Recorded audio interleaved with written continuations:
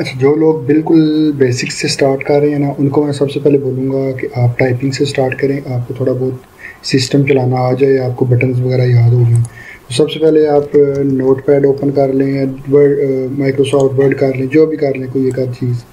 उसके अंदर आप, आपने कोई ज़रूरत नहीं है, जो सॉफ्टवेयर होते हैं टाइपिंग मास्टर आपने किसी सॉफ्टवेयर का यूज़ नहीं करना, वो आपको बाउंड करते हैं, आप इस उंगली से यूज़ करें, इससे यूज़ करें।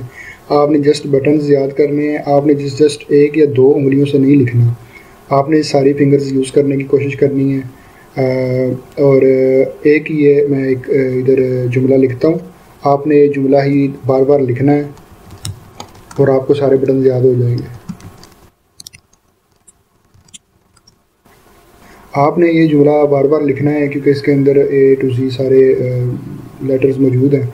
तो आपकी जो टाइपिंग स्पीड है वो भी बेहतर हो जाएगी और आपको बटन वगैरह भी याद हो जाएँगे। तो नेक्स्ट वीडियो में मिलते हैं, इंशाल्लाह।